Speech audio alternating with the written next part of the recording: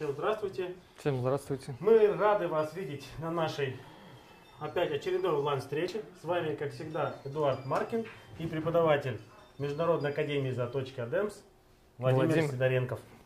Здравствуйте, Владимир. Добрый день.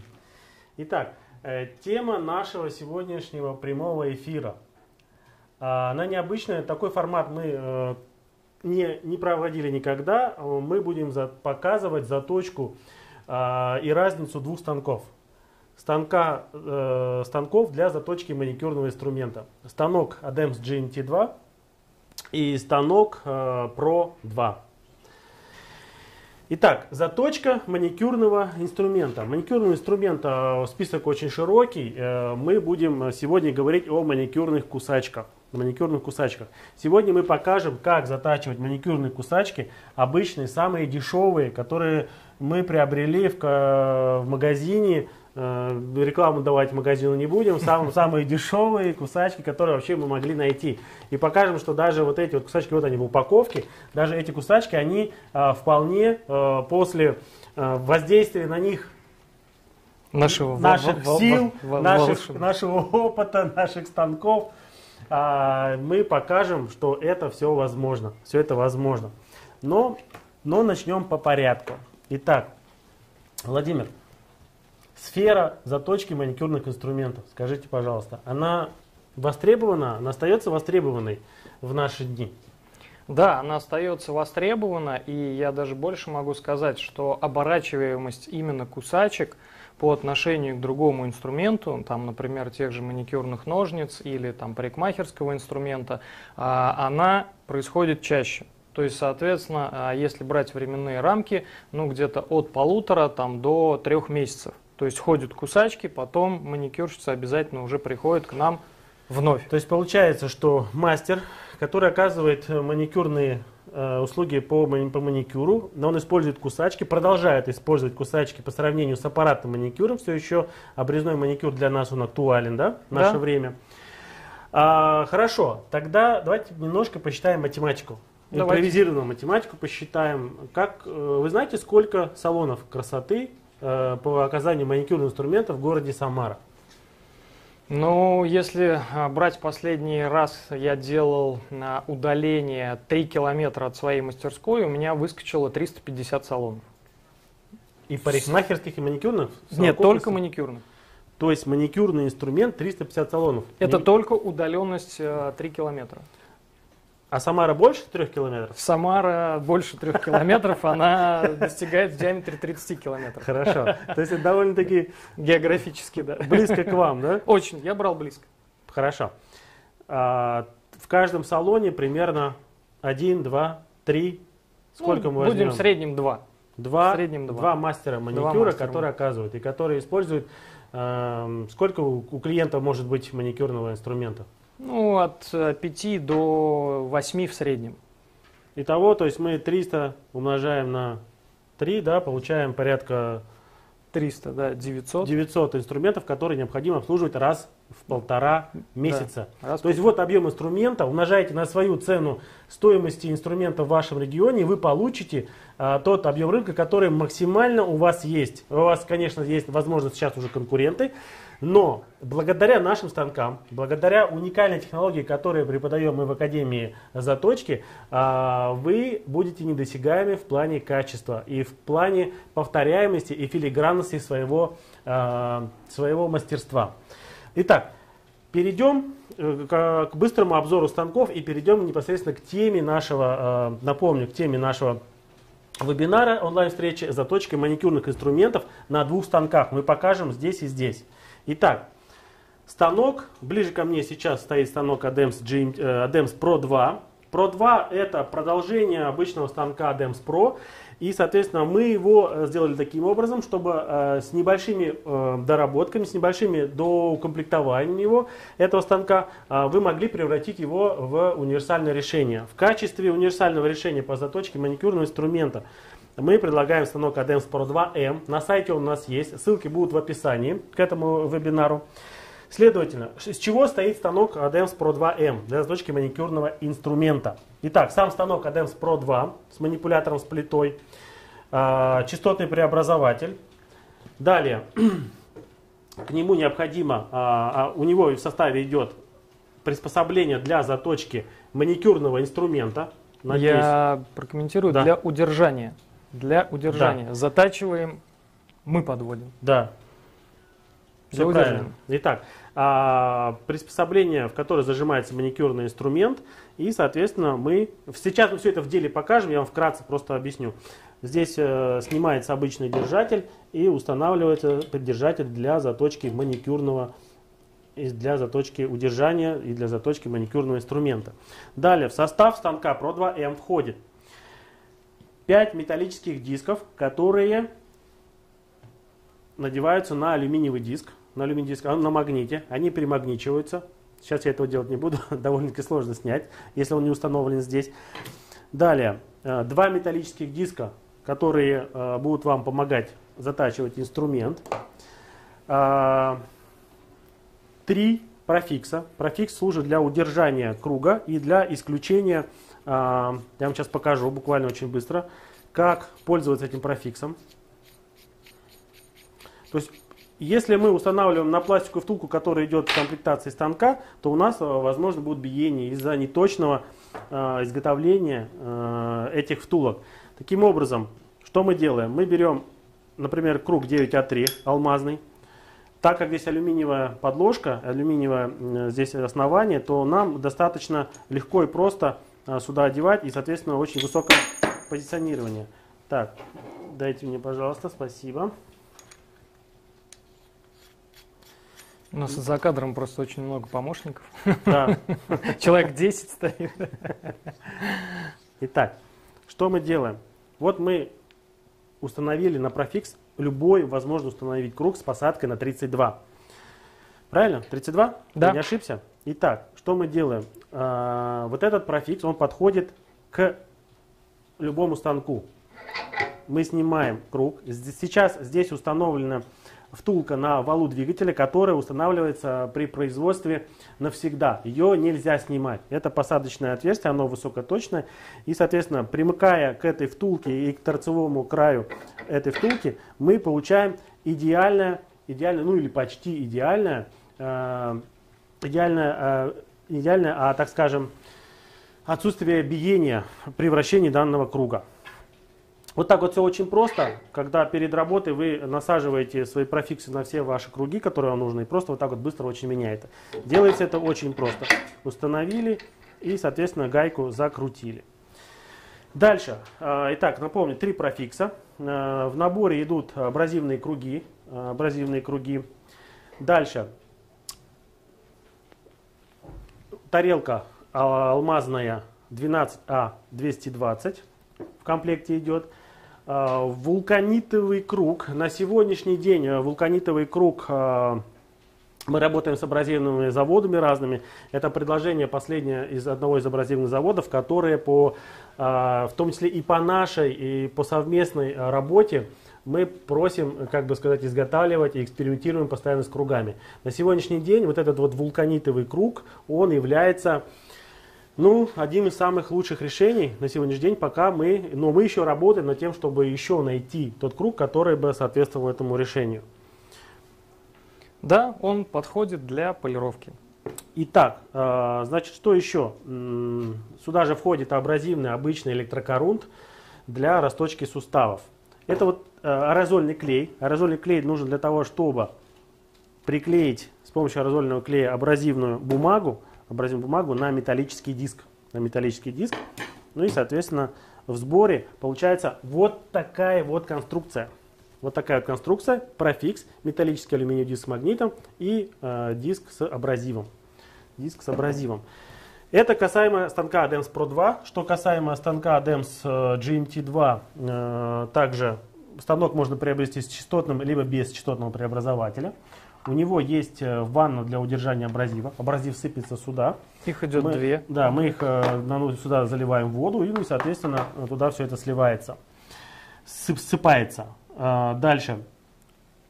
Манипулятор, станок, частотный преобразователь. Ну, здесь все стандартно. А, опять же, металлические диски для абразива, сам абразив, ключи для откручивания а, профиксов, аэрозольный клей – масло для смазки суставов. Да, шестигранный ключ. Что мы еще забыли? Ничего не забыли. В принципе, я думаю, э, полная комплектация описана у нас на сайте, и с этим можно будет ознакомиться. Э, каждый станок поставляется как с частотным преобразователем, так и без. Выбирать, конечно, вам, но мы вам рекомендуем все-таки эту опцию покупать. Эта опция очень легко устанавливается. Я вот прям буквально сейчас за 2 секунды вам покажу, что э, частотник включается с помощью двух вот таких вот штекеров. Э, второй снять не буду. Штекер ставится, э, устанавливается позади станка и устанавливается. Если вам не нужен частотный преобразователь, значит там есть перемычка, которая будет, э, соответственно, работать станок без этого. Зачем нужен частотный преобразователь? Владимир? Зачем мы рекомендуем его покупать? А, под разную под разные операции необходима разная а, частота вращения. То есть, соответственно, если нам нужна какая-то тонкая операция, то мы выбираем а, частоту вращения очень медленную, ну, например, полторы тысячи оборотов, что на обычном точиле, ну, просто если мы пошли в магазин его купили, мы сделать а, физически просто не можем. Угу. Допустим, если мы работаем, а, ну, я просто по примерам, да, пробегусь, там, например, мы делаем расточку сустава у кусачек и используем электрокорунт, он медленной скорости особо не любит, поэтому я использую, например, 2200 оборотов. Если мы говорим про абразив, абразив и формируем фаски, и э, дальше толщину фасок по щечкам, mm-hmm. то я выбираю полторы 1700. То есть при этом я не снимаю металла много, и э, также я не прижигаю металл. Ну, так вот, вкратце, если совсем не углубляться в подробности. Итак, сейчас мы начнем подготавливать рабочее место для заточки маникюрного инструмента и, соответственно, перейдем непосредственно к самой заточке. А, а использовать мы будем... спросили, да, какого формата мы будем сегодня затачивать кусачки, но а, так как это простой вариант, цена вопроса 100 рублей, но они похожи на кусачки, ну, будем говорить, Йока либо Мецгер. То есть у них а, внутренние поверхности, то есть передние поверхности, да, они а, имеют, а, ну, такую вогнутость.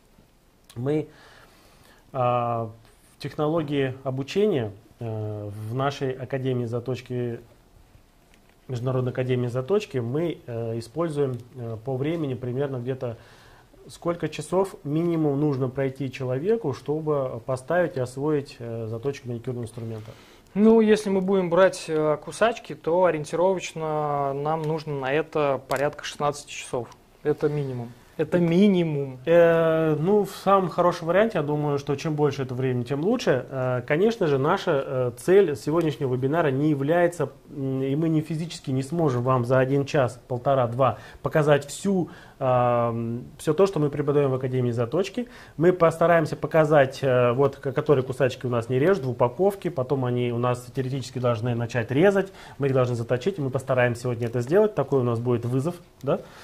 Вот самый дешевый кусачек. Ну и, соответственно, мы покажем базовые вещи. Базовые вещи, насколько мы успеем за этот час. Более подробно, конечно, осваивать технологию и расти как мастеру нужно непосредственно и ну, довольно-таки ну, долгое время. Э, каждый день нужно узнавать что-то новое, каждый день нужно чему-то учиться. Итак, э, поэтому базовые элементы, но покажем все от начала до конца, никакие, э, не убирая никакие этапы заточки.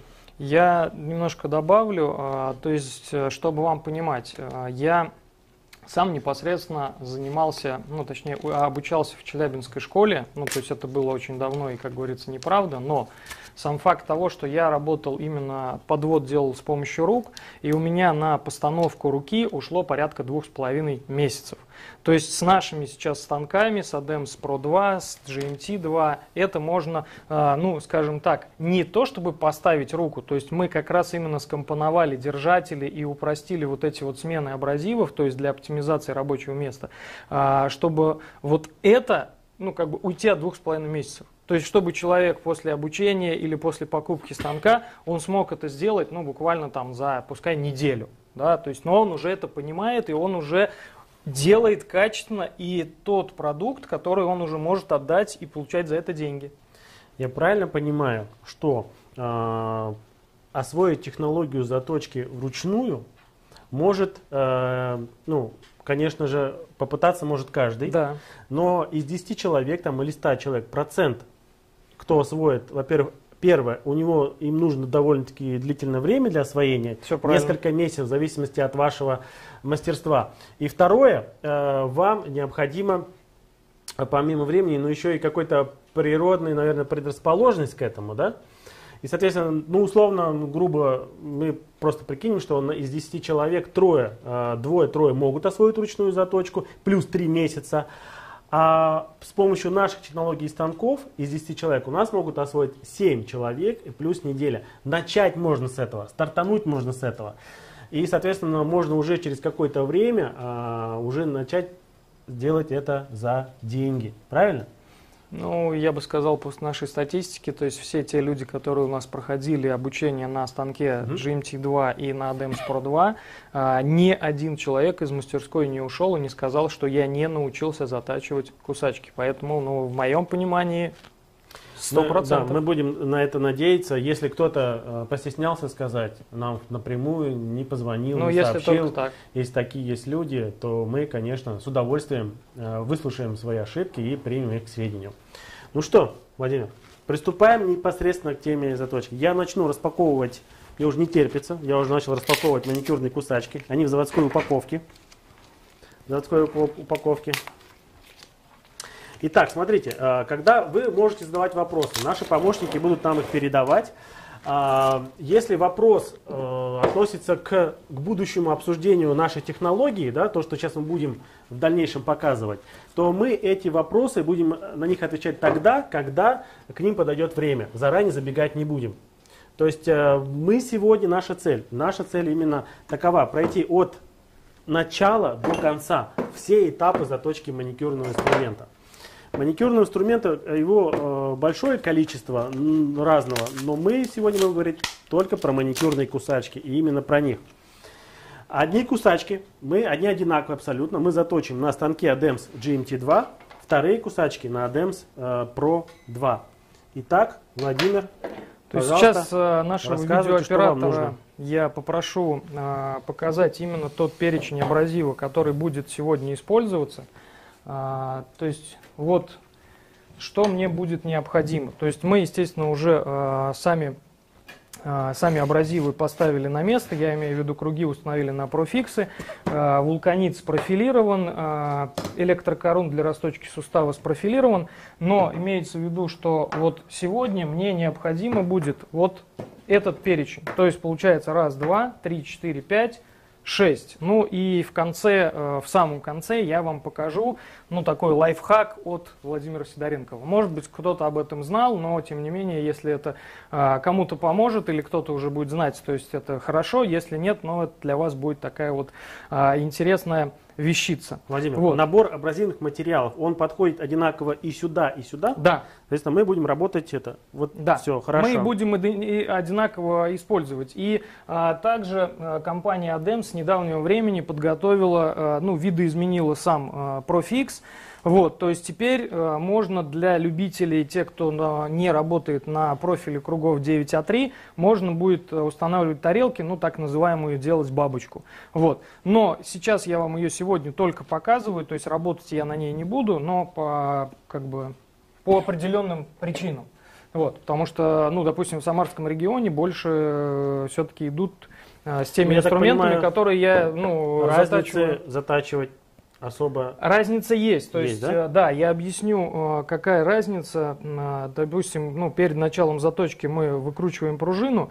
Вот, если, например, если, например, да, к примеру, то есть мы не можем разогнуть, то есть сам сустав раскрыть, да, соответственно, сюда мы не сможем ну, как бы проникнуть на переднюю поверхность и ее сформировать, а здесь мы это сможем легко. То есть, если вот такие вот кусачки нам приходят, то есть у меня в арсенале, естественно, такая техно, ну как бы Получается, выбор, выбор за вами, уважаемые друзья. Вы можете, вы можете в комплектацию входит такой, но вы можете сделать и, и такое, э, Да, собрать правильно. себе такой, такую бабочку. Ну Да. что, Владимир? Все правильно.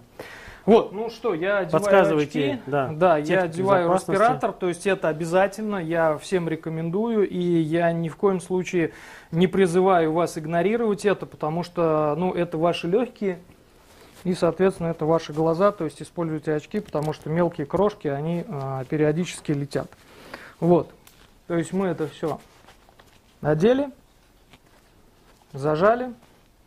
Вот, очки у меня тоже подготовлены. А, ну что, начнем.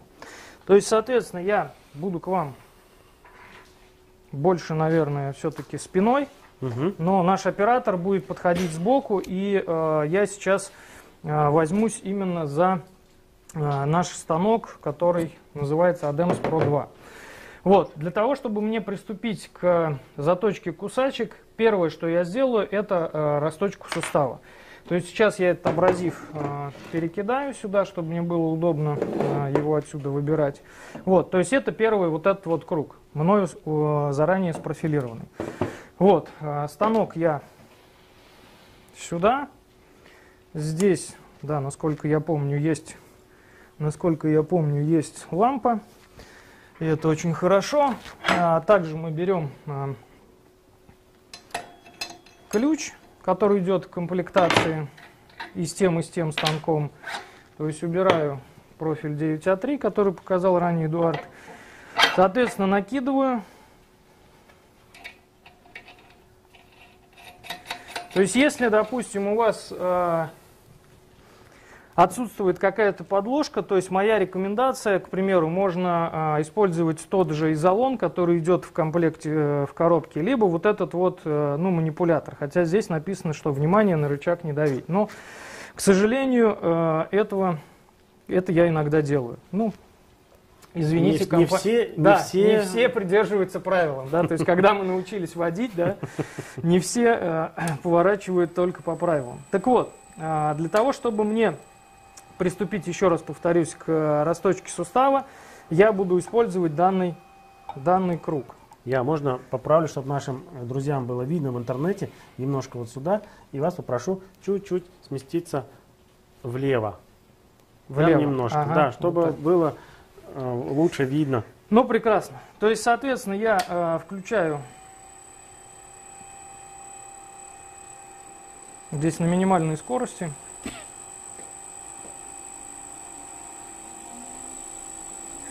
То есть, так как э, э, я сказал ранее, что электрокорунт не совсем любит э, мелкие скорости, ну и я, в принципе, тоже, да, не работаю, я сейчас, да, это, наверное, один из минусов. Но, да. Вот, а, то есть растачиваю низ с правой стороны. Наверное, мне э, зададут сейчас вопрос, а для чего вы это делаете у новых кусачек?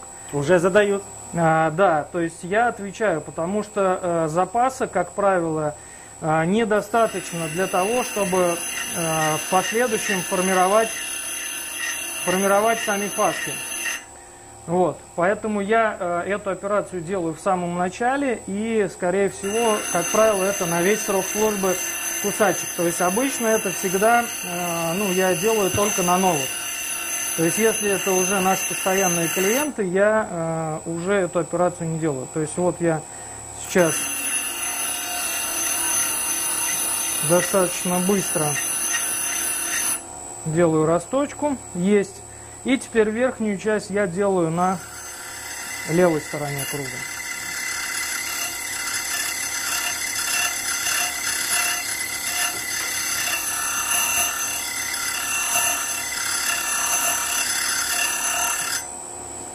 То есть сделали. Знаете, что, Владимир, мы не показали? Мы не показали, как они режут после заводской упаковки. Я Да. думаю, сейчас мы ничего Ну, не пока мы повредили. э, режущих кромок э, еще не касались, поэтому я сейчас продемонстрирую на обычном пакете полиэтиленовом. Пакет. Хорошо.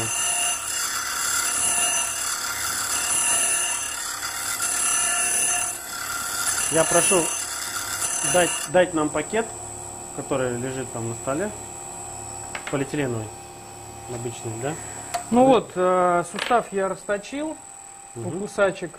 То есть вот он полиэтиленовый пакет. Сейчас, э, да, наш видеооператор. Нужно направить на кусачки. Да, то есть вот я, э, ну, рез просто произошел из-за того, что они очень, ну, нагрелись. А у нас вторые есть. Вот. Да, вот у нас а, идентичные кусачки, но те сейчас остынут. То есть вот, вот мы видим, я не держу пакет. Салфетки надо? Э, ну, салфетки, да, конечно, давайте, Эдуард, что же. Попробуем Покажу. салфетки. А? Ну вот, допустим, я беру э, ворсовую салфетку влажную, то есть вот я вижу то, что здесь мы просто вырываем. На вторых кусачках э, все то же самое. То есть вот он, Остыли. да. Все, как говорится, все отлично, они не режут. Ну, еще раз, вот на пакете, то есть, соответственно, они тоже не режут. Так вот, то есть мы расточили сустав. А, как мы будем делать? Перепрыгивать со станка на станок? Или- А, мы будем делать идентичные операции, да. Мы будем растачивать сустав и здесь и показывать те же самые возможности. У нас, э, в принципе, э, технология по заточке и расточке сустава здесь, здесь она а, идентичная. Совершенно, да. Да. Ну, давайте для экономии времени, наверное, мы Сустав, сустав, про- да. простенькую операцию. Мы, а, ну, здесь то же самое. Мы взяли круг, перенесли его туда. А, Здесь даже будет удобнее то, что здесь есть упор. Вот сейчас видеооператор показывает, да, то есть э, мы сюда положили руки и, в принципе, все те же операции сделали. Дальше, а, теперь самая волнительная операция, то есть ради которой э, люди, э, у которых есть в арсенале уже станок просто ADEMS Pro, а, покупают вот это вот приспособление. То есть для чего оно необходимо? Оно необходимо для а, того, чтобы растачивать, э, ну, формировать переднюю поверхность. Для этого я сейчас сменю, сменю абразив на... Сейчас я уберу. Так, вот эти мы с вами расточили. Но нам придется же эти тоже расточить, чтобы потом-то. Ну, значит, сейчас расточим. Растачиваем?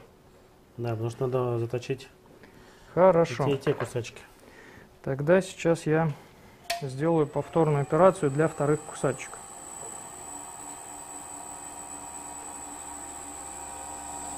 Ну, здесь не принципиально, э, откуда начинать, то есть э, с верхней части сустава или с нижней.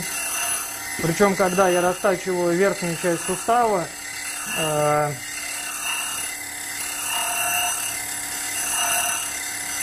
сам шарнир, ну то есть сам сустав не так сильно нагревается.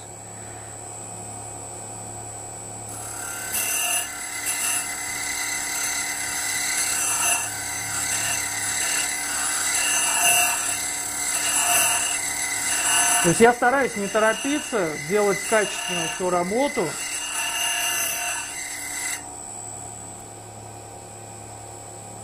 То есть это сделали. И теперь...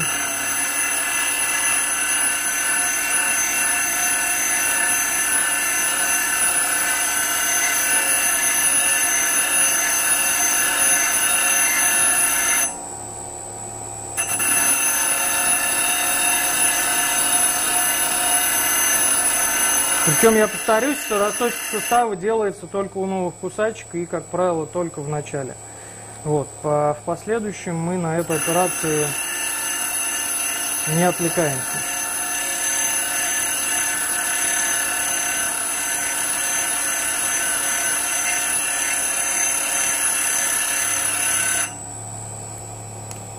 Угу. То есть вторые кусачки у нас готовы. Если можно попросить наших ассистентов, мне на будущее вот сюда нужна лампа. Просто если это у нас, она будет Так, падать. я, если что, помогу. Будете держать. Да. Отлично. Ну, тут, да. Ну, это китайская, Китайская, китайская лампа не выдерживает нашей мощности, наши нагрузки. Ну, нашего ладно. мастерства. Так вот, теперь я а, убираю электрокорунт. Теперь я убираю электрокорунт и а, сюда устанавливаю. а, прррм, вот он. Сюда я устанавливаю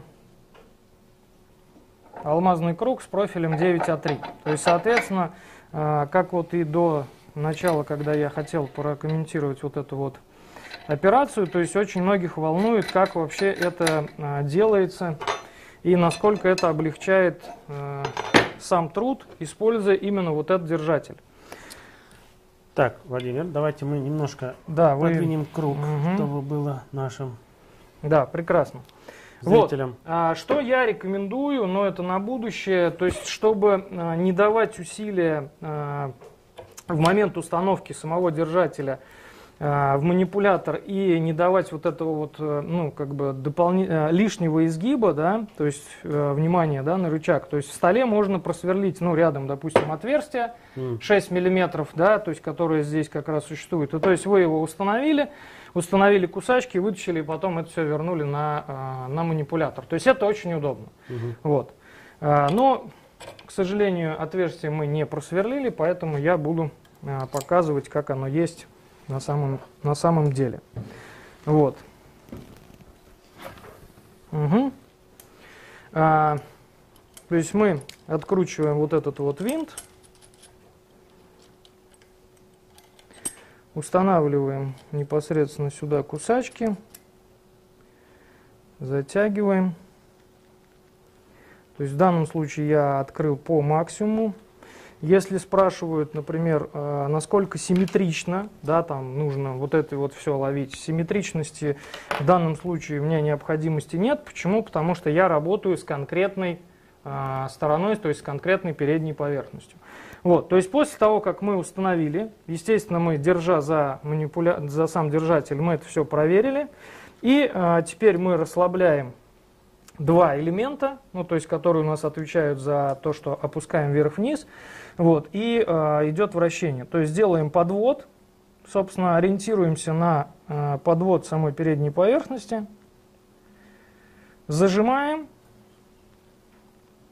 и все, как говорится, вот она настройка. То есть вот он залог успеха этого э, манипулятора угу. и держателя. То есть мы с вами подвели и э, именно вот этот вот подвод, именно вот этот угол атаки у нас по факту, как говорится, закрыт. Да? То есть мы это не держим на руках, и нам нет э, необходимости устанавливать э, то есть какие-либо подложки, приспособления. И, соответственно, после просмотра, то есть нам опять же, да, легко э, мы вытащили, посмотрели, на какой стадии. Вот, э, для того, чтобы нам вообще было с вами понятно, э, насколько мы это все делаем, я вот сейчас быстренько закрашиваю это маркером. И, а, собственно, начинаем формирование передней поверхности. Все достаточно легко и просто. А, скорость вращения, то есть, ну, алмаз тоже не совсем любит а, быстрой скорости, то есть я где-то выбираю порядка, допустим, даже вот 1,8. Ну, мне так удобно. И опять же мы э, идет полное отсутствие прижога. Вот таким вот образом я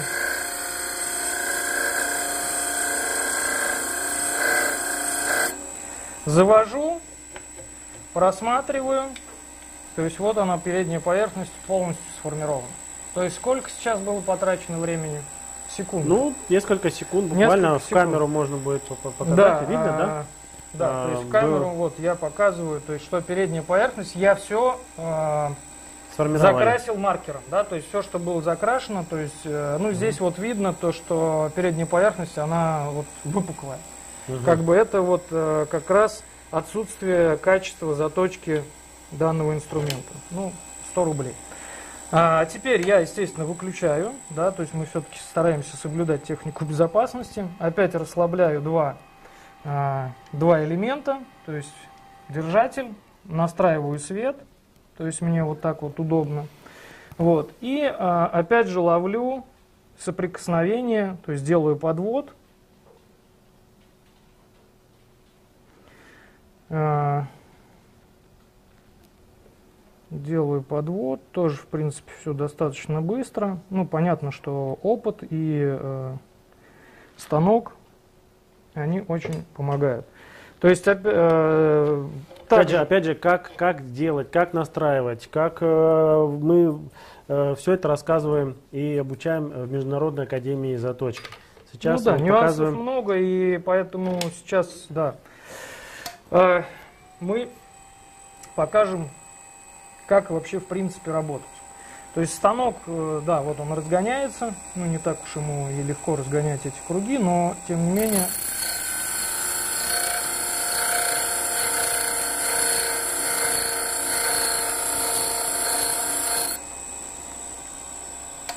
Опять же выключаем, смотрим. Передняя поверхность, вот она сформирована. То есть, ну вот сейчас попробую блики поймать. Вот они, блики. Все отлично. Все, то есть у меня э, операция по формированию передней поверхности на этом станке состоялась. Угу. То есть далее мы э, убираем отсюда кусачки. И э, следующая операция будет э, именно устранение люфта. Но теперь мы идем на станок GMT2. Я думаю, что вот мы сейчас расположились. Давайте тогда мы сейчас пройдем э, полностью технологии удобно будет заточки да. на одном станке, а потом мы перейдем Давайте, на второй хорошо. станок. Э, кусачки для э, станка GMT2 мы пометили, они вот здесь лежат, есть маркировка фломастером, соответственно, мы их не перепутаем. Без проблем. Тогда, да, продолжаем. Тогда, да, да пока я вот так вот установлю сам манипулятор, то есть теперь мне необходимо э, устранить люфт. Люфт. Я вам э, установлю сейчас пень. Ну, такой импровизированный пень, да, чтобы к соседям мы не провалились. Отлично. Я их буду немножко удерживать Давай, ногами. Но это нормально. Это, как говорится, заточка на коленке, да? Ну, мастера, они могут вообще затачивать в любых условиях. На то, то есть, мастера. Да. Соответственно, мы это установили. Такая вот у нас интересная есть а, приспособина. То есть сейчас я трогаю, мало. Мы ее вытягиваем. Опять же я попадаю в то же самое отверстие.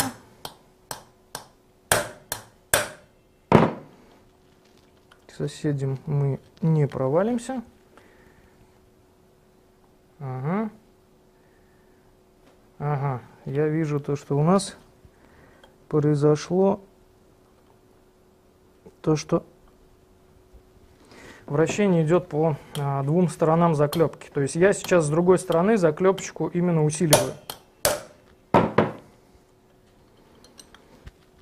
Все, отлично. Все, от люфта я избавился.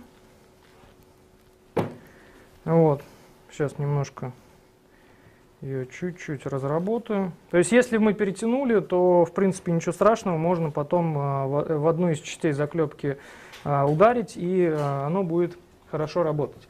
Вот. Также у нас есть масло в комплекте, то есть мы можем сразу его сюда сейчас в шарнир добавить. В любом случае, я вижу то, что ну, у данного производителя как говорится, полное отсутствие смазывания масла. То есть там сустав просто ржавый. Вот. То есть вот мы э, устранили люфт. Теперь мы переходим к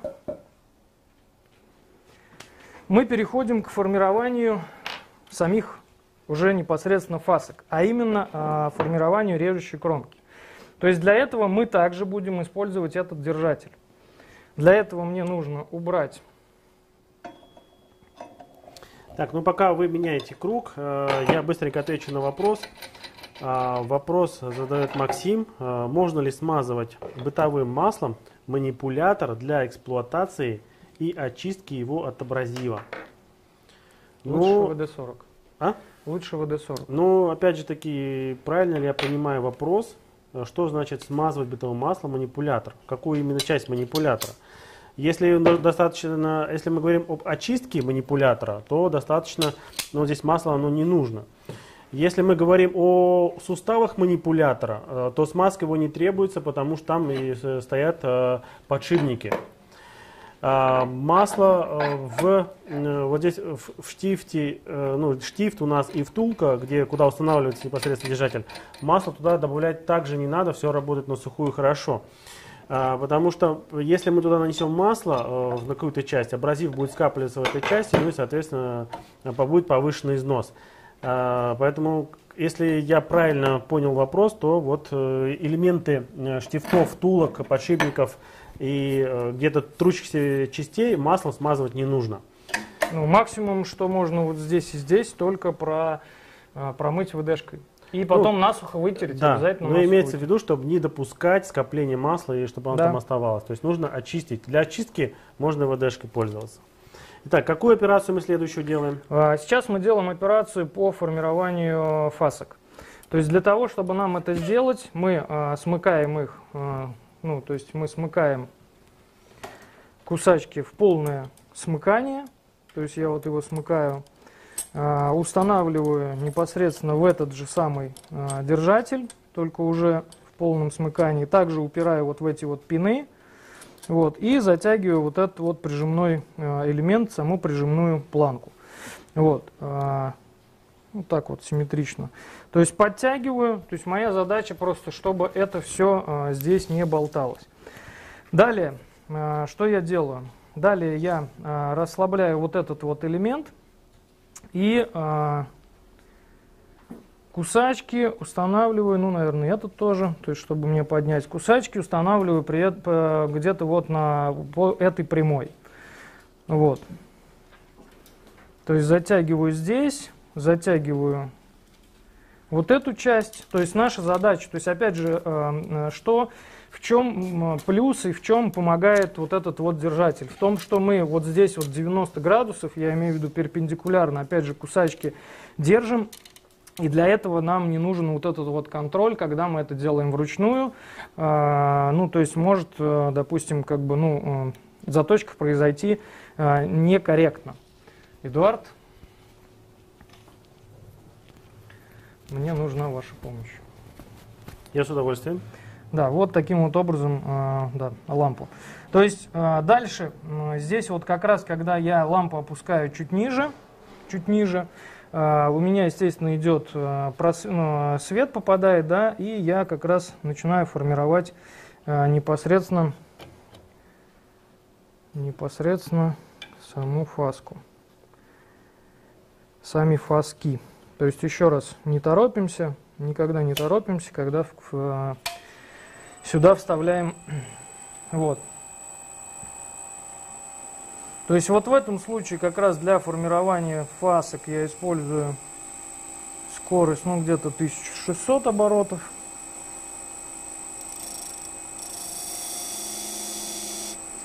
То есть произвожу прям вот такое вот минимальное касание – и обязательно просматриваю, то есть насколько у меня э, фаски ну, вообще в принципе сформировались. То есть сейчас я вижу то, что обе фаски сформированы. То есть теперь... Так, мы не показали нашим клиентам, не удалось показать э, результат после того, что мы сделали. А я еще не проверял? Ага. Нет, я имею в виду, да, что да, получилось да. после заточки. А. В кадр не попало. Вот, пожалуйста. То есть фасочки сформированы. Угу. Я сейчас, э, ну, естественно, мне нужно вытащить их из держателя, я имею в виду сами кусачки, то есть чтобы, э,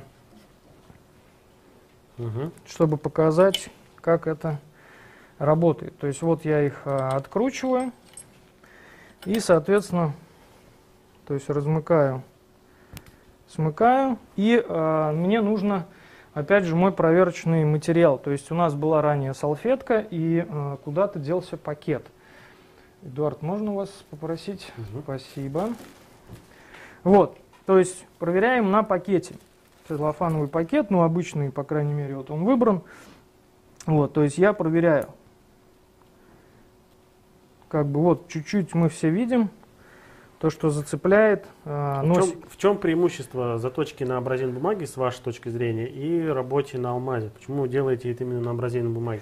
А, абразивная бумага мне нравится тем, то, что а, сам вот этот вот заусенец, который заходит а, на переднюю поверхность, он менее стойкий по отношению к заусенцу, который появляется от алмаза.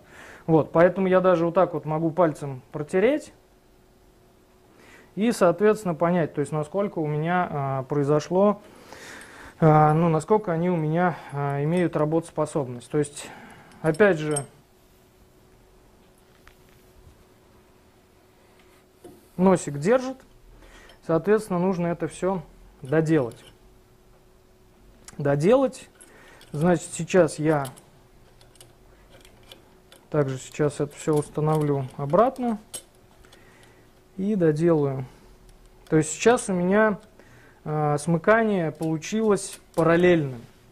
А как мы все знаем, э, смыкание должно быть идти от носика к пятке. То есть таким образом э, работа, то есть непосредственно самих режущих кромок будет э, более качественно, нежели чем если это будет э, параллельно. Так вот, э, сейчас я это все установил обратно в сам держатель. То есть все у меня здесь, здесь затянуто. И теперь я еще один раз коснусь. Ну, здесь прям вот касание будет минимальное.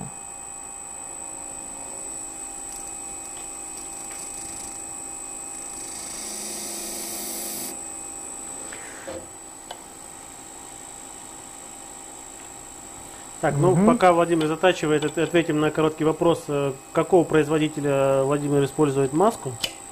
Три. Три Владимир использует маску. А, вопрос еще. Эм, удобно ли вам сейчас ответить? Или... Да, конечно. Значит, э, первое. Э, какой риск заваливания угла при формировании передней поверхности на держателе? Угла какого? заваливание угла при формировании передней поверхности. Ну, я так ну. Здесь же мы это настраиваем на э, соприкосновение, поэтому, в принципе, на, ну, как бы наоборот, здесь сам держатель нам э, помогает. То есть вот сейчас я заточил, ну, то есть э, как раз вторым касанием. Угу. И вот мне сейчас оператор показывает, э, я проверяю первичную рез, то есть вот он, ну, по моему мнению, он почти идеальный, а, если бы здесь э, одна, а, один, э, ну, одна вершина по отношению к другой не выпирала. То есть это уже как бы следующая операция, которую мы будем делать потом, угу. именно уже по калибровке, то есть по формированию вершин. Вот. То есть в данном случае само э, соприкосновение, то есть режущих кромок, ну то есть если э, сейчас будет видно, но я боюсь, что просто я не смогу показать, то есть так близко на просвет. Но поверьте мне, что идет касание носик, а потом идет пятка. То есть дальше что мы делаем? То есть у нас, естественно, а, сами фаски, они стали а, после их формирования, то есть после формирования а, самих режущих кромок и смыкания, фаски стали асимметричные. То есть одна уже, другая шире. Вот. То есть для того, чтобы мне отрегулировать ширину их, фаски, да? Да, ширину фаски я уже Использую, ну, в данном случае для первичного формирования вот именно самой фаски я использовал абразив P600. Вот, а для того, чтобы мне э, уже формировать непосредственно саму толщину фасок, я использую абразив P320. Вот, и Владимир, причем... можно я вас отвлеку? Да. А, мы вот э, вопрос про продолжение первого, про риск. Мы сказали, что риск у нас ну, риск он везде есть, но тем не менее он угу. помогает наш держатель минимизировать данные риски. И при ручной заточке э, можно вовремя э, заметить неправильность ее металла или с носиков, или с пятки. А на держателе как? На держателе э, мы можем установить э, непосредственно, как я и показывал ранее, э, кусачки, отметить их э, с помощью маркера, то есть нанести отметку, сделать э, подвод – Соответственно, вот этого вот именно угла атаки, который э, ну, регулируется вот в этом да, уклоне, и э, сделать прокрутку. Но э, я обращаю ваше внимание на то, что у станка DEMS Pro 2 э, как бы идет э, удержание только вот под этим углом. Угу. То есть вот только под этим углом. Соответственно, э, вот этот угол мы уже взглядом сверху вниз контролируем. Угу. То есть и поэтому э, как бы в этом плане, то есть у вас идет полный контроль относительно носик-пятка. Вот, а вот этот уклон вы уже как бы задаете с помощью держателя. Поэтому для, для меня, э, ну, к примеру, уже как бы привыкшему к ручной заточке, э, этот станок крайне удобен. Вот, то есть это я сделал. Теперь мы... А если э, заусенцы на режущей кромке, нужно ли их убирать? Да, их нужно убирать, но это в конце. В конце. Все понятно? Да, это все в конце. Это вопрос был Максима. Максим, дождитесь окончания заточки, вы узнаете ответ на да, свой вопрос. Да, я как раз хотел э, показать. То есть, каким образом мы можем делать э, формирование толщины фасок? То есть, мы это можем сделать вручную, как вот я сейчас показываю, да, пока без включенного станка. И также мы можем это делать э, с помощью держателя. То есть, соответственно, я, а, наверное, не наверное, а сейчас я на другую сторону сразу а, поставлю угу. сразу поставлю магнитную тарелку магнитную тарелку и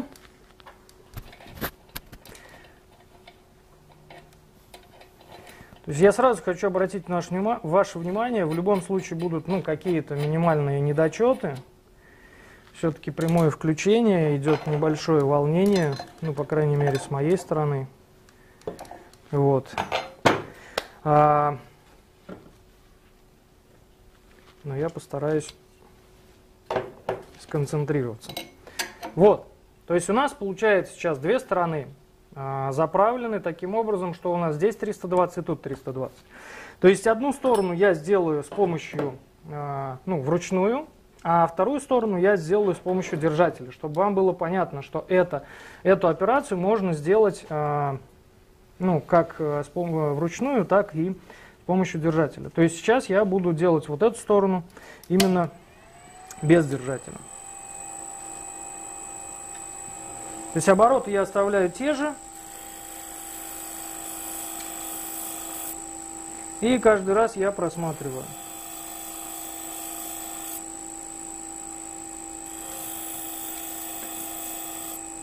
Ну, ширину фаски я где-то оставляю 0,2-0,3 миллиметра.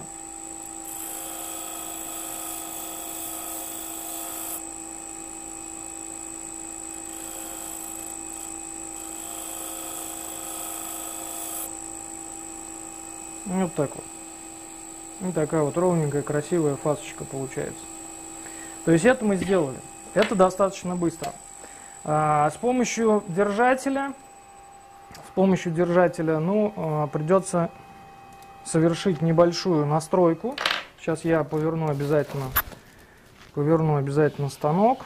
Попрошу нашего оператора, да, чтобы именно было показано вот с этой стороны. Ну, коль уж я одну сторону сделал. Вот, а, то есть мы также устанавливаем кусачки. И а, теперь, закладывая их, мы, ну, не обязательно широко их раскрывать. То есть примерно где-то вот таким вот образом.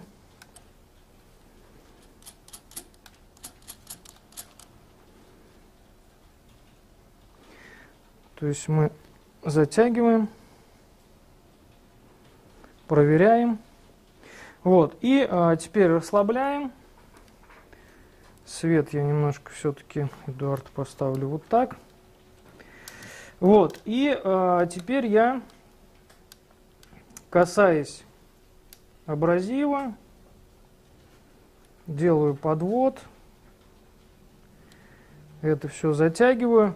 То есть, опять же, удобство в том, что вот эта часть, она, а, ну, она неподвижна. Вот, то есть, если здесь у меня э, щечка получилась выпуклая, то при э, ну, использовании держателя она будет такая очень ровная, фактурная и, не побоюсь этого слова, очень красивая.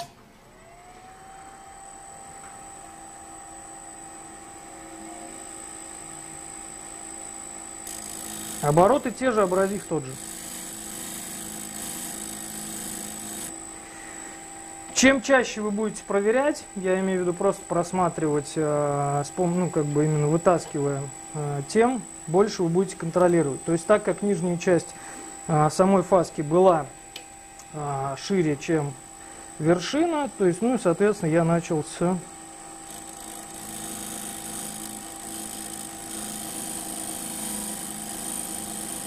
я начал с пятки. Вот.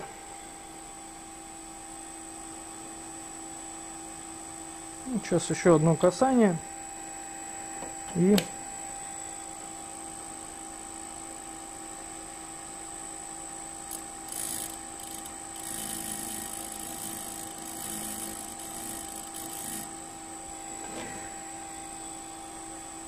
И все.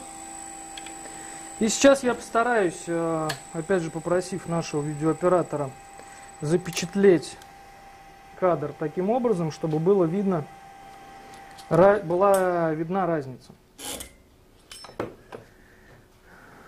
Вот что у нас получилось. То есть здесь у нас она исключительно по прямой. Задняя поверхность получилась. Фасочка очень тоненькая. А здесь она получилась выпуклая, то есть немного а, такая округлая. Но это я делал вручную. Причем а, выбранный абразив, вот этот P320, он дает такую э, красивую риску, что я не всегда даже делаю полировки на каких-то фетровых кругах или еще на чем-то. Все. То есть у нас основной базис, то есть вот основная заточка, которая необходима для того, чтобы кусачки э, превратились в рабочий инструмент, по большому счету произошла. То есть мы сформировали э, переднюю поверхность, мы сформировали само смыкание и получили режущую кромку, и э, мы сформировали толщину э, непосредственно самих э, фасок, да, по их ширине. Uh-huh, uh-huh. То есть, соответственно, ну, как бы на своей коже я проверять не буду. А, теперь моя задача именно сделать небольшой съем с обуха для того, чтобы выровнять а, высоту вершины и также по боковой поверхности это все сделать. Поехали. Попрошу сейчас перейти на эту сторону, потому что ну, под правую руку мне это будет, а, ну, с правой руки, да, мне это будет удобно. То есть вот таким вот образом я, э, ну, сейчас опять же показываю без включенного станка, это все формирую.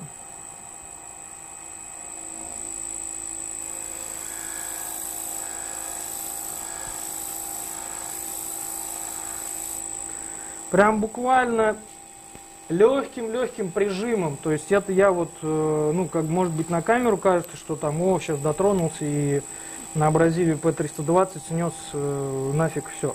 На самом деле, вот я их выровнял, они теперь э, вершины стали э, на одной высоте. Но мне теперь их необходимо сделать э,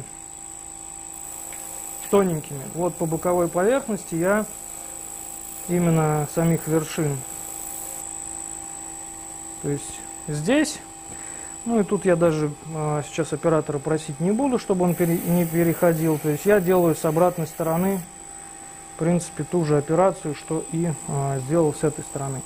Все, вершины у меня а, одинаково ровные, одинаково тонкие. То есть теперь я это протираю.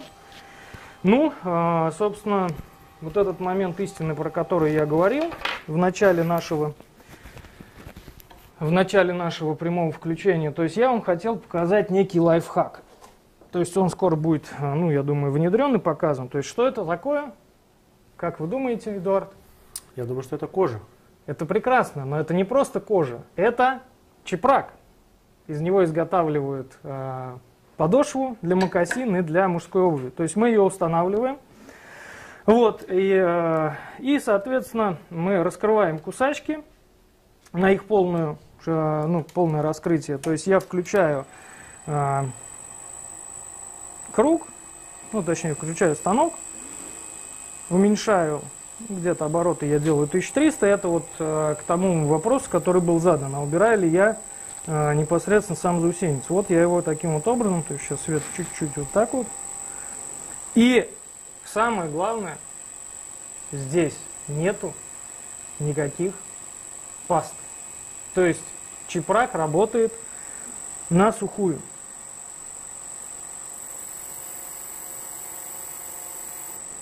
И он устраняет заусенец, никоим образом не повреждает режущие кромки.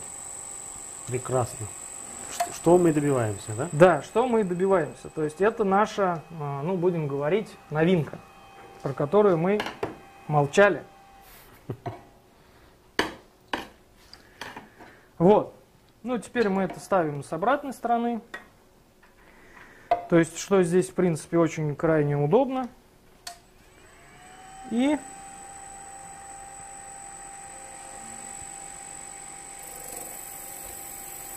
проводим те же операции. Да, провожу ту же операцию.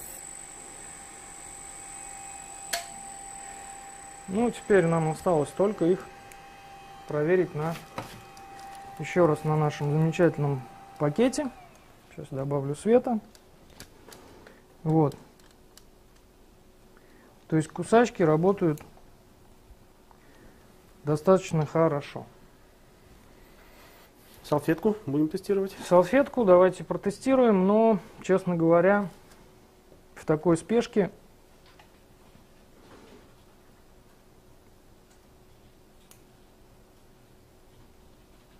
ну, вершину держит. То есть здесь э, сустав достаточно слабенький, и вероятность того, что режущие кромки, а, ну, как бы одна под другой очень сильно поднутряются, очень большой. Вот. Но а, такие вот кусачки, ну, в принципе, нам вообще не приносят, ну, да, 100 рублевые, и, как правило, мы не добиваемся, не достигаем того, чтобы они работали именно с салфеткой. Вот. Но, хотя такое тоже возможно, но тем не менее вот пакет они режут идеально. То есть если уж совсем как бы ну, показать, насколько они режут кожу. При установке кожу... пружины зазор увеличится? Еще раз? При установке пружины зазор увеличится? Ну, конечно, это последняя, ну, как бы одна из э, крайних операций, то есть в э, заточке. То есть вот таким вот образом мы это устанавливаем. То есть если э, ну, как бы напряжение пружины недостаточно, ну, можно ее чуть-чуть просто подогнуть.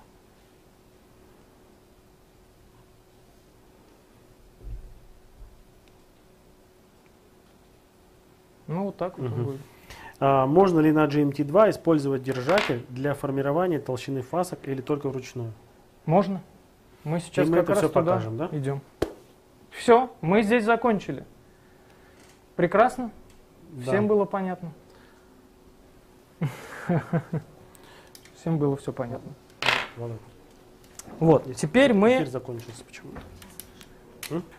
Теперь мы перемещаемся к этому станку. Итак, мы будем делать все то же самое. Вот вторые кусачки, которые у нас здесь имеются, мы их тестировали, они не режут у нас.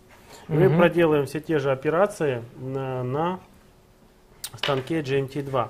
Итак, что нам для этого понадобится? Нам понадобится... Ну, ну первая операция, которую мы э, делали, э, показывали на Pro 2, но и здесь это нужно, э, с помощью электрокорунда нам необходимо расточить э, сустав. сустав. Расточить сустав с помощью обычного электрокорунда. Мы эту операцию уже сделали, поэтому мы ее повторять не будем. Да. Так, Сейчас я беру... Что нам еще нужно? Сейчас я беру круг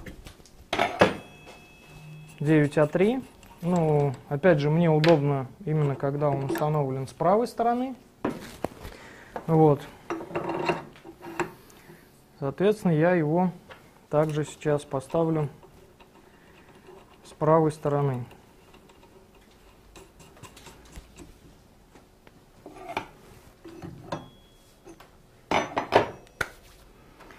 То есть обратите внимание, кусачки в очень грустном состоянии. А, соответственно, мы не делаем никакой да, подтушевки кадров, мы показываем Нет. все напрямую. Вот.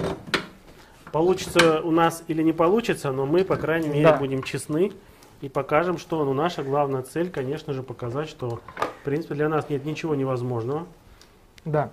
То есть здесь э, у GNT2 а, нет такой регулировки, как на станке ADEMS Pro 2, то есть имеется в виду, что вот это вот а, ну, то есть держатель с манипулятором, он вот как бы в одной а, части находится, его можно только наклонять, а, к сожалению, опускать его вниз нельзя. Но у GMT2 предусмотрена вот такая вот а, система, которая может поднять а, непосредственно сам движок.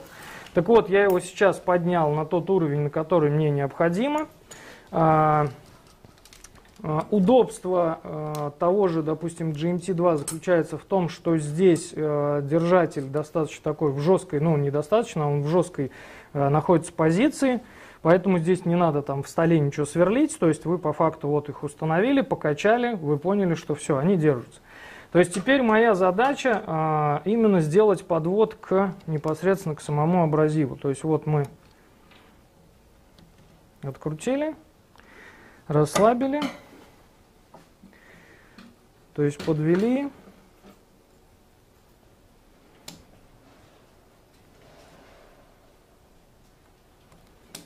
Затянули.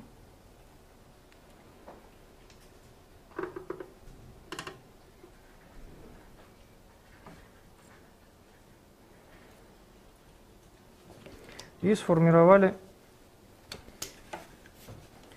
переднюю поверхность. Обратите внимание, что у этого держателя а, настраивается именно два, две части подвода. То есть первая часть это непосредственно сама э, передняя поверхность, и вторая часть это как раз мы регулируем параллельный подвод к абразиву, э, то есть мы как раз регулируем э, режущую кромку, чтобы она была параллельной. То есть по большому счету я подвод сделал, то есть теперь только осталось это все сформировать. Э, Эдуард, хочу вас попросить да. маркер. Да. Хочу показать нашим участникам а, то, что я вот так вот это все вытаскивается. Ну, станок новый, в масле, поэтому здесь, естественно, поначалу нужно применять небольшие усилия.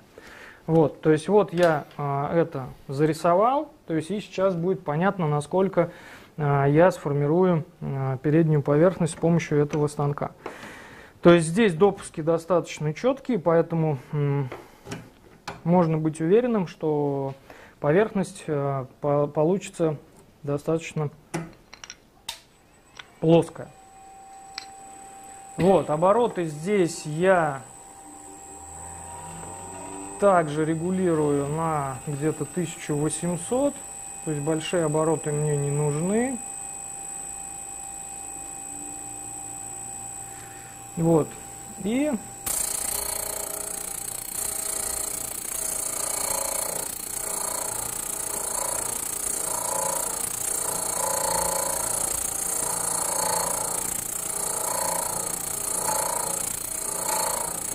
мягким движением. Опять же, кусачки снимать не нужно, для этого есть то есть, что я сейчас вижу? Вот я не да, вышел на режущую кромку в нижней части, но основная часть уже э, сформирована. Сейчас я это доделаю.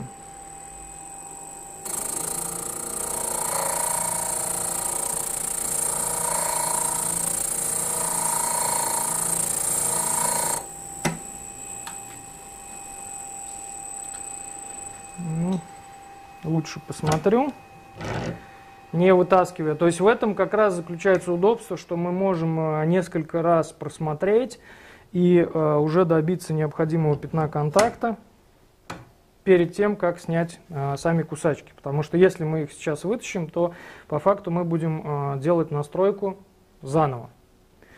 Вот. То есть зачем я откручиваю? Не надо. Нам нужно уйти на другую сторону абразива. То есть так как, опять же, э, это круг 9А3, то есть мне всего лишь навсего можно э, расслабить два рычага. Так, ну вот по э, формированию фасок по прямой, не сильно ли уменьшится толщина металла, задает Максим вопрос. А, ну, в любом случае она а, каким-то образом изменится, то есть так как а, здесь есть небольшая вогнутость, вот, но я делаю подвод таким образом, чтобы снять минимальное количество металла, то есть э, если вы переживаете о том, что торсионная жесткость нарушится, ну, к счастью, нет. И тем не менее, я еще и делаю э, формирование передней поверхности с таким запасом, чтобы э, уже этой передней поверхности хватило до всего срока службы тех же самых кусачек. Угу. Ну, естественно, все нюансы мы рассказываем в процессе обучения. Да, и э, по чепраку задают вопрос, можно ли использовать крашеный. Нет, можно взять э, кусочек абразива, наклеить на какую-то поверхность, ну там, например, на тот же металлический круг от того же там э, станка full драйва и при включенном состоянии просто его снять. Ну, до мездры.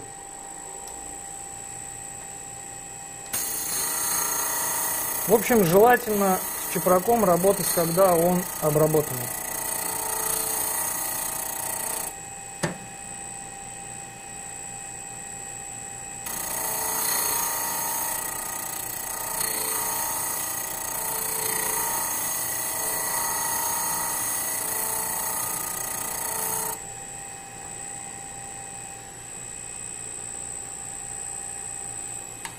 Все. Тестируем, смотрим. Все, передняя поверхность. Ну, здесь я ее сформировал по высоте, переднюю поверхность относительно выхода на режущую кромку, где-то около 3 мм. Здесь у меня получилось аж под э, самый вот сюда вот, ну, по всей практически длине обуха. Вот, но ничего страшного. Вот, мы э, сформировали переднюю поверхность. Дальше нам необходимо, опять же, э, устранить люфт. Сейчас я это постараюсь быстренько убрать с помощью все той же самой приспособы. То есть, исходя из первых кусачек, я сначала зафиксирую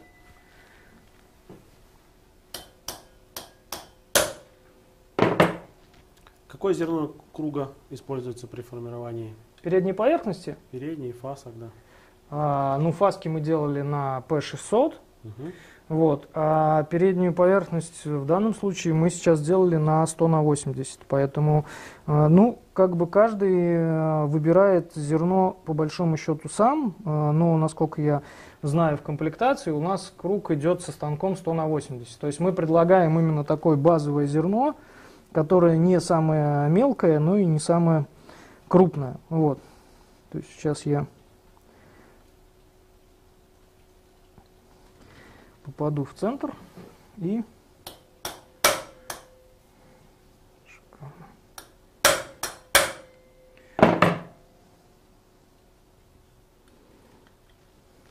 Отлично. Все, люфт я здесь убрал. Здесь, кстати, даже масло доливать не надо. Вот, ну, сустав здесь, понятно, оставляет желать лучшего в плане того, что и заклепка не совсем качественная, поэтому, а, как говорится, лучше перетянуть, потом это можно все разработать. То есть а, люфт я устранил. Теперь а, таким же образом мы откручиваем легким движением, брюки превращаются в элегантные шорты. Вот, то есть теперь мы дальше устанавливаем алюминий с магнитом и меняем, если здесь, а нет, здесь все правильно, здесь стоит э, круг P600. То есть дальше мы сейчас будем формировать переднюю поверхность. Открутить? Можно? Да, пожалуйста. Угу. Вот. То есть, соответственно, мы а, сейчас установили абразив P600. Вот, и также будем использовать а, все тот же наш а, держатель. Вот, перед началом я, естественно, это все расслаблю, установлю в ровную позицию. То есть мы это смыкаем.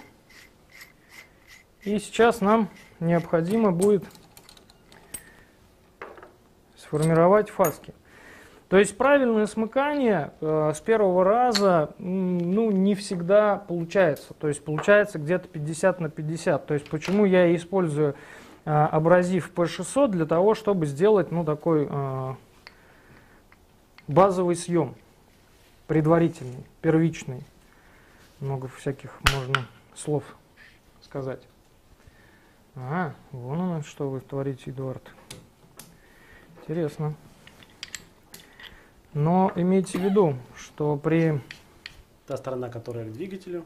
Нет, даже не вопрос не в той стороне. Если это люди спрашивают, и вопрос был задан, можно ли делать переднюю поверхность на абразивной бумаге, да, но нужно быть крайне аккуратным, потому что ее можно срезать, потому что вращение идет против часовой. Поэтому лучше все-таки использовать алмаз, он долговечнее и, э, ну, в общем, кому как нравится. То есть это моя мой совет. Вот, то есть что мы теперь делаем? Мы а, подвели непосредственно кусачки, и а, вот я вижу то, что у меня а, смещение немножко вот при формировании передних, ну, то есть самих фасок чуть смещено вниз, да. Опять же, я могу а, нада надавливанием вот сформировать, то есть чтобы у меня вот в этой было прямой. Подвели. Выровняли прижим, затянули.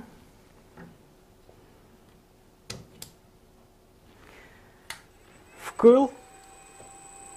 Обороты лучше сделать поменьше, то есть где-то 1600, нормально.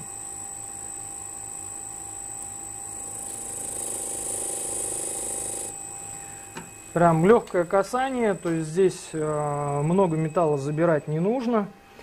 Вот.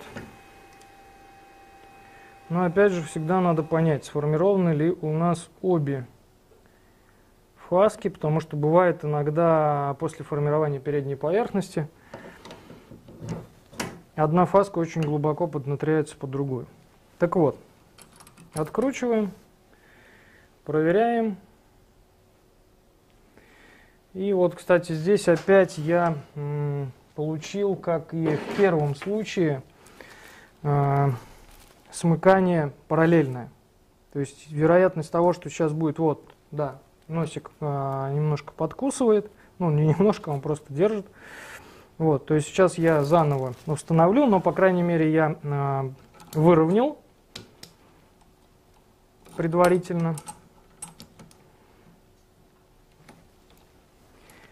Сейчас мы это все выкручиваем в обратную сторону. Ну, мне так удобнее.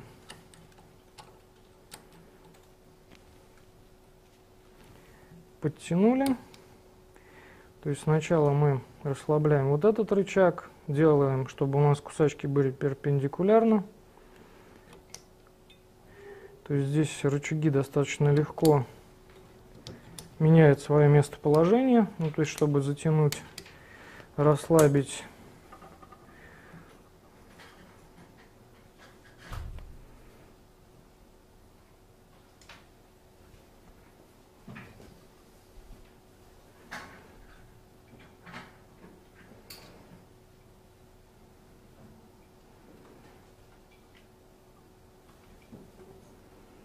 Такая идет тонкая настройка.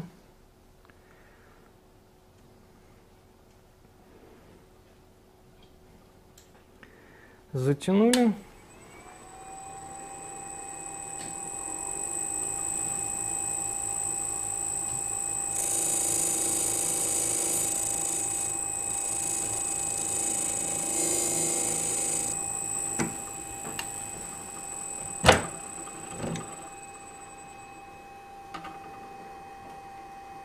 Угу.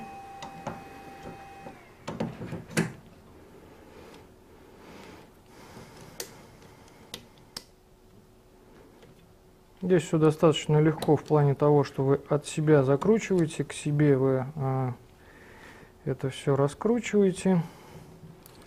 То есть мы вытаскиваем. Да, вот я смотрю просвет хороший получился, я имею в виду от ну, смыкания от носика к пятке, то есть то, которое, собственно, необходимо. И вот мы теперь а, проверяем на пакете, то есть рез практически идеальный, за исключением того, что опять вершины, э, ну вот сейчас я после третьего, третьей проверки, они, вот, они начали резать. Причем даже, скорее всего, будет, будут резать и салфетку. Вот прям самая вершинка, ну как раз они сейчас разновершинные, то есть я думаю, что после того, как мы их э, выровняем, соответственно, они будут идеально работать. То есть, видите, вторые кусачки уже э, режут салфетку, причем я использую одни и те же абразивы.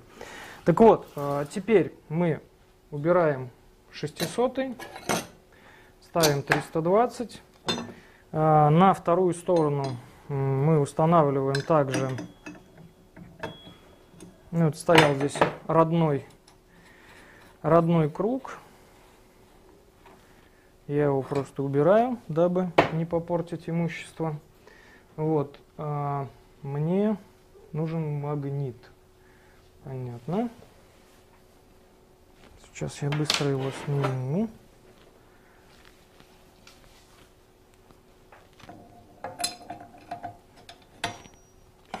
все делается достаточно быстро, поэтому я не займу много времени. Так, это сюда, это сюда.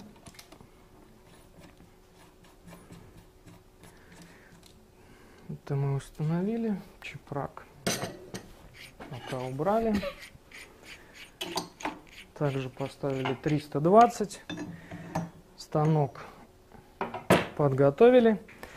А, обращаю внимание, то есть когда у нас 5 или 6 или 10 кусачек в работе, то есть, э, соответственно, мы делаем все операции друг за другом, поэтому вот это перебрасывание, перекидывание, оно а, исключается ну, на предмет затрат времени и делается все очень быстро. Ну, я имею в виду сама заточка. Если у кого-то появился вопрос, а вот он там почему-то все очень долго делает. Так вот, а, Одну, опять же, сторону я сейчас сделаю, как и на том станке, с помощью держателя. То есть здесь раскрывать сильно не нужно. Тарам-пам-пам.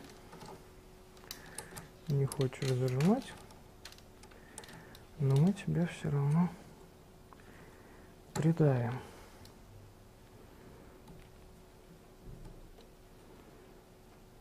Угу.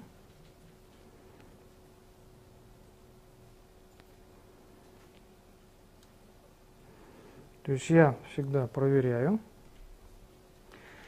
Все, это мы сделали, зажали. Теперь мы это все также расслабили, установили. И вот в, этом, в этой ситуации по отношению к ну, станок GMT2 и ADEMS Pro 2, там с плавающим носик-пятка, ну, имеется в виду, что режущая кромка подвижна, а там, ну, по крайней мере, мне было делать легче. Здесь нужно максимально четко установить и саму заднюю поверхность, и а, саму режущую кромку относительно круга.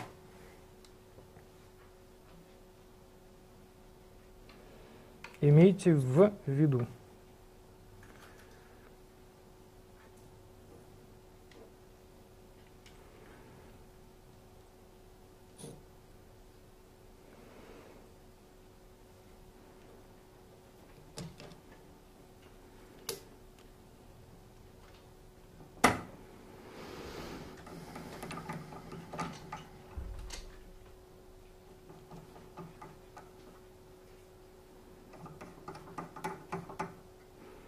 Так.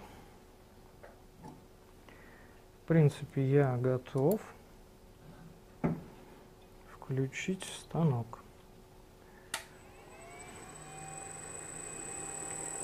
Для начинающих это огромный плюс, когда мы можем это все зафиксировать, настроить, отрегулировать и э, уже как бы, то есть просто делаем касание, можем делать проводку вверх-вниз, можем просто, это я металлом об металл задел. Бывает. Вот, причем мы делаем а, первичное касание и желательно, естественно, а, это все проверить, на какой стадии. То есть, насколько я выбрал траекторию по отношению к а, параллельности ширины фаски. То есть, вот сейчас у меня съем идет металла, фаска достаточно сложная и на самом деле определить, нет, нормально. Я сразу с первого раза попал в параллельность ширины. Ну, теперь только уже следить за тем, какая, ну, за тем, чтобы не сточить просто совсем саму фаску.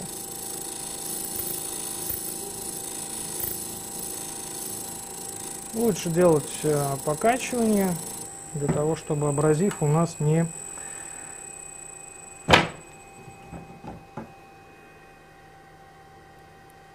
Абразив использовался равномерно. Угу, сейчас еще.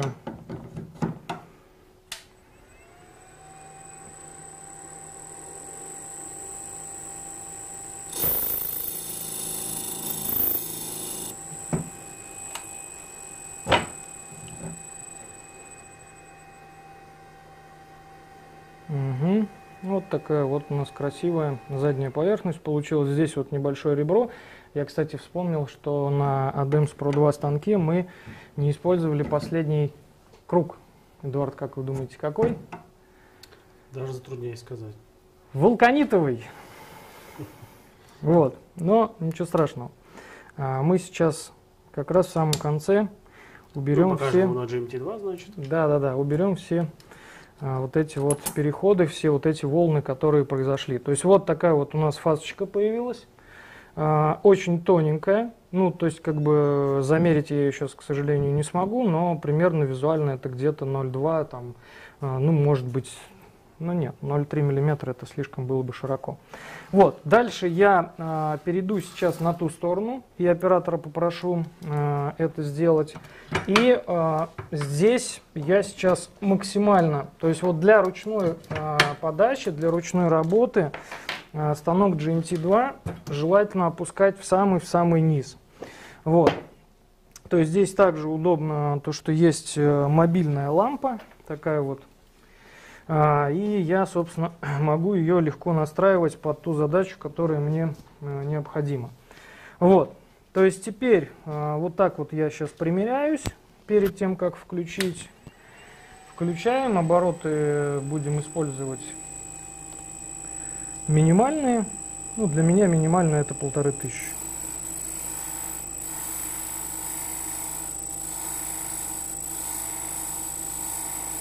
И сейчас буду именно делать вручную.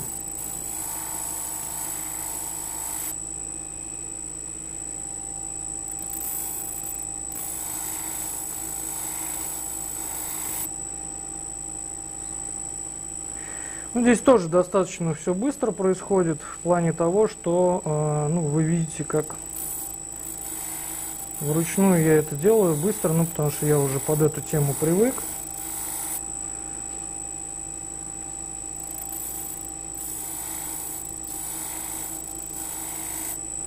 Но для новичков постичь э, такое мастерство там в первые 2-3-4 месяца достаточно сложно, поэтому вот держатель э, вам в помощь, это однозначно, потому что он очень помогает. Все, я это сформировал. Я имею в виду, вот она задняя поверхность, вот такая вот ровненькая, тоненькая фасочка появилась. А, по ширине она, ну, опять же, где-то примерно 0,2 мм. Далее, далее я попрошу немножко, я загонял нашего оператора, но такова сегодня наша задача, идея, да, перейти на эту сторону. Вот, а, то есть мы, да, сейчас аккуратно перемещаемся. И а, теперь, то есть, что у меня осталось? У меня осталось выровнять вершины. То есть, соответственно, делаю я это на, ну, вручную и вот здесь вот с правой стороны движка. То есть минимальным прижимом. То есть на носик.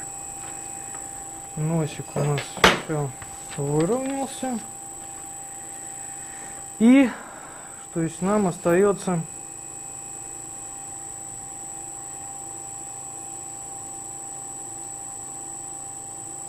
А прямой профиль это где? Как без лекальной линейки определяют профиль и делают просто прямой? Профиль где?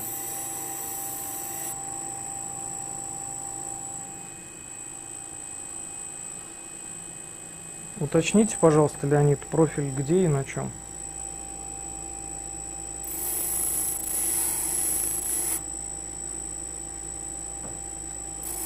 А я сейчас заканчиваю выравнивать вершины.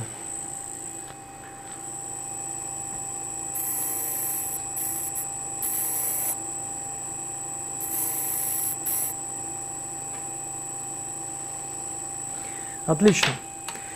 А, теперь, ну, перед тем, как опять же перейти к а, полировке режущей кромки с помощью чепрака, то есть это вот наш сегодняшний волшебный продукт, да, вот мне Эдуард помогает, он мне передает вулканитовый круг. Он был ранее мной опять же спрофилирован. Мне очень удобен вот такой профиль. Я думаю, что многие заточники используют именно такой профиль. И теперь я делаю уже финишную доработку, непосредственно довожу до ума. Будем говорить визуальную. Да, а, вулканит не очень любит маленьких оборотов поэтому здесь я делаю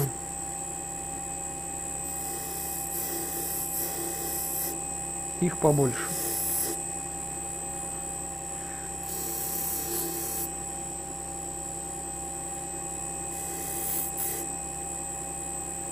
Ну, то есть также мы здесь можем и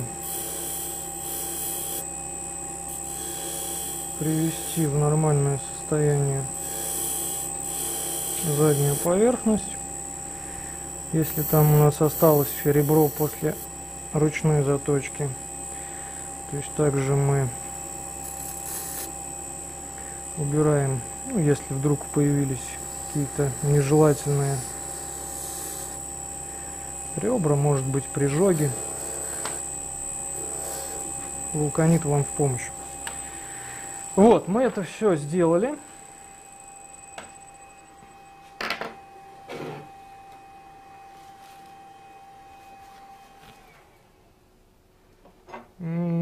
Сколько видов пробойников я использую два, либо конический, либо э, просто такой ну, полукруглый, сферический. В основном конический, им э, удобно.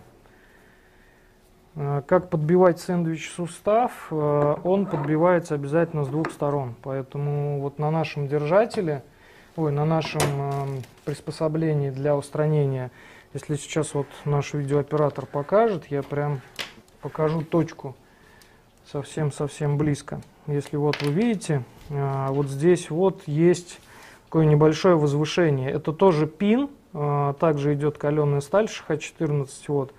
А, соответственно, вот он здесь установлен и вот здесь вот. Соответственно, эта площадка при перемещении, вот видите, она, а, она смещается в сторону. Сейчас, секунду. Здесь она сейчас затянута, я просто... Да. Ну вот, она двигается. То есть, соответственно, этот пин перемещается а, ну, перпендикулярно, он находится в одной. И, соответственно, сэндвичи бьются просто с двух сторон. То есть если обычный накладной сустав, он бьется просто сверху, э, как говорится, вниз, то там вот за счет этого пина, это вот как раз на нашей приспособе оно уже есть. Вот, э, что я хотел сделать, да, я хотел отполировать, я хотел отполировать именно передние поверхности. А,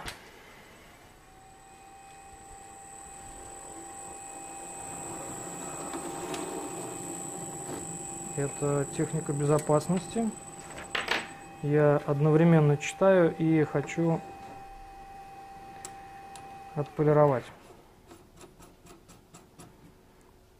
Извиняюсь. Ну и такое бывает в нашей жизни.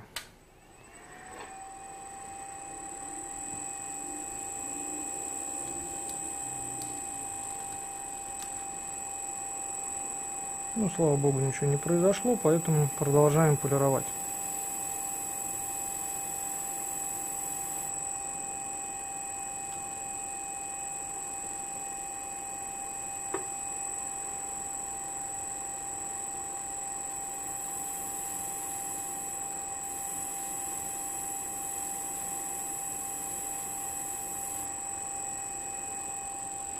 Отвечу на ваш вопрос, Леонид. Без лекальной линейки определяется профиль передней поверхности. В нашем случае я ее не всегда использую, потому как делаю переднюю поверхность э, в большинстве случаев с помощью держателя. А так как там отсутствие колебаний, то есть я это делаю не вручную, соответственно, плоскость э, получается ну, практически идеальной. Вот. А в данном случае я держу режущие кромки вниз. Обязательно вниз. И просто прополировываю прополировываю переднюю поверхность. Ну что, момент истины. Как же оно будет работать? Мы берем сейчас пакет. Вот, меня видно. Ну, вторые кусачки получились практически идеальными. То есть сама вот вершинка чуть-чуть подкусывает, прям совсем. Также я иногда использую качестве просмотра, наверное, уже сейчас в большинстве случаев я использую микроскоп.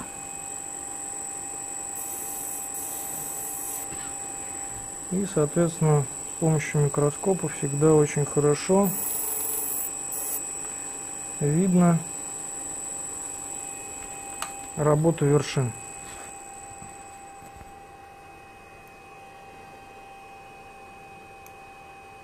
Ну вот так. То есть заточка состоялась. Для э, кутикулы и для того состояния, в котором они были ранее, то есть здесь вот, ну, пакет, по крайней мере, он вообще не даже, даже не дергает. Вот, Эдуард, все заточено, господа. Я свою миссию ну, относительно на сегодня выполнил. По крайней мере, я показал, как это работает. А, при смыкании носики заходят друг на друга и при формировании фасок не убирается. Что делать? При смыкании носики заходят друг на друга.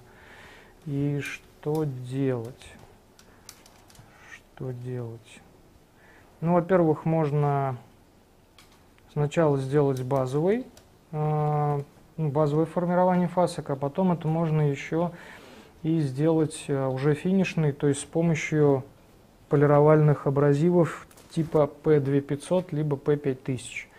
То есть э, можно будет достичь э, равномерного смыкания режущих кромок. Но в любом случае они будут все равно поднутряться, ну то есть по всей длине. И поэтому Здесь нужно смотреть на сам сустав.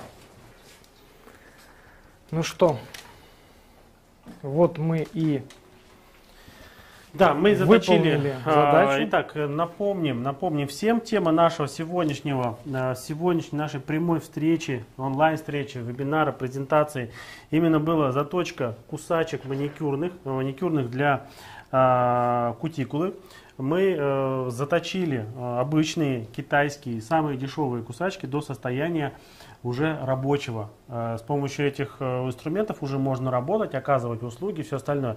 Конечно, услуга по приведению их в заводскую, э, вернее, в потребное состояние, она стоит дороже, чем сами кусачки, сам металл, все остальное. Ну и, как правило, наверное, опытные мастер, мастера такой инструмент Могут не просто не взять заточку, да, поэтому здесь... Нет, вижу, что мастера маникюра а. Не используют, скорее всего, такой инструмент. Возможно, начинающие какие-то, либо домашние мастера.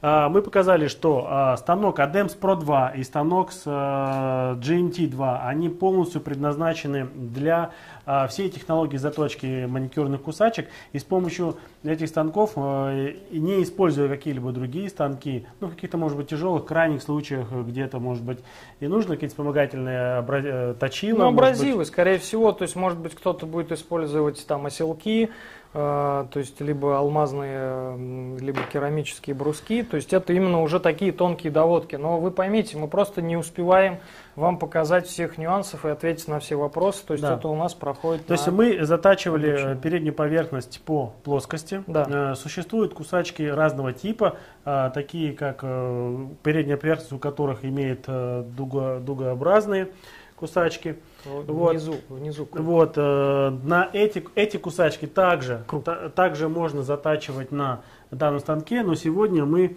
э, так скажем, просто не показывали, но По в принципе, в принципе, э, дугообразная заточка производится следующим образом. То есть это просто делается по передней поверхности? То есть, ну, я просто вот держу, если бы это стояло и в раскрытом состоянии, но э, по передней поверхности э, именно а, вогнутую поверхность в большинстве, наверное, формируют на а, так называемых топориках, да, то есть где очень большие, а, ну, сами по себе а, поверхности передние. Объем маникюрного инструмента он большой, существует а, также в разных регионах э, нашей страны, э, северный, южный, западный, восточный, различные инструменты, различные школы, которые э, обрезают кутикулу и делают маникюр различным инструментом. Весь этот инструмент можно затачивать путем комбинирования именно абразивов установки на наши, на наши станки. Вот, надеюсь, мы э, были перед вами честными. Мы прошли э, от э, начала э, заточки, прошли всю технологию заточки и показали все операции, которые можно выполнить на, данном, на данных станках. Напомню, э, станок для заточки э, маникюрных кусачек GMT2 э, именно предназначен в большей степени для профессиональных и начинающих заточников, где практически все углы фиксируются. И, соответственно, человек может, это мастер начинающий гораздо быстрее все это освоить. А, станок ADEMS Pro 2 предназначен не только для заточки маникюрных инструментов, это просто для общего развития, но и для заточки ножей и ножниц, Дальше можно делать на нем а, ханингование а, парикмахерских ножниц. По да, по задней поверхности. Далее а, использовать как полировальный станок, использовать как а, станок для заточки и нанесения микронасечки. Ну и, соответственно, как обычное электроточило, которое используется уже по вашему усмотрению. По функциональности этот станок, он более широк, более широкая, и поэтому э, он имеет право на существование и нахождение в вашей мастерской. Данный станок э, предназначен именно для большого, массового и э, с постоянным и стабильным качеством объема инструментов. Затачивайте, получайте от своего дела э, удовольствие, занимайтесь своим любимым делом, потому что кто занимается своим любимым делом, он перестает работать и начинает для души все это использовать. Я бы хотел добавить о том, ну, как бы предназначении еще вот станков Эдуард прокомментировал. То есть, если вот этот станок, он более массивный, стационарный, то есть он, скорее всего, больше для а, именно стационарной мастерской, то те мастера, которые планируют пере, ну, как бы такие выезды, да, именно к мастерам а, маникюра и педикюра, то вот такой станок Adams Pro 2, он будет прям такая палочка-выручалочка. По факту вы можете его в такой, э, ну, аккуратный кейс и с абразивами и просто приехать, собственно, установить на небольшом участке стола и затачивать инструмент на выезде. Ну, это такой вот комментарий. Мы для наших э, клиентов, для наших будущих клиентов подготовили очень много различных акций в мае месяце, которые будут обновляться и которые будут а, помогать вам э, стать ближе к, к своей мечте заточника. Обращайтесь в наш отдел продаж, узнавайте, интересуйтесь. Практически под каждую категорию клиентов мы подобрали свою акцию. На этом скажем всей команде и вам, Владимир, большое спасибо, что вы все это нам показали, рассказали, честно и без э, приукрас. Ждем вас на следующих вебинарах, задавайте вопросы, что для вас интересно было бы узнать, э, передавайте информацию. Ну и, так скажем, до новых встреч, всего доброго, до свидания. Всем пока-пока.